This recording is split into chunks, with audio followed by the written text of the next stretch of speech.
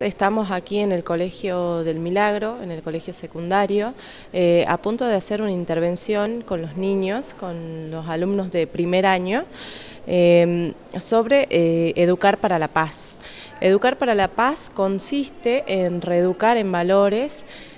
valores como el respeto, como la paz, como la solidaridad y la empatía.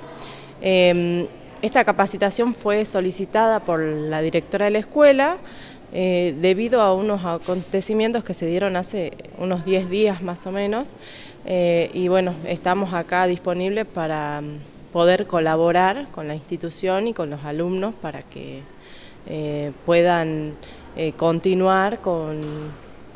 su camino, este, con su educación de la forma más pacífica posible. Esta es la primera jornada que estamos haciendo, van a ser exclusivamente para alumnos de primer año y el 30 de mayo tenemos la segunda capacitación para alumnos de segundo y tercero y eh, el 6 de junio para alumnos de cuarto y quinto año.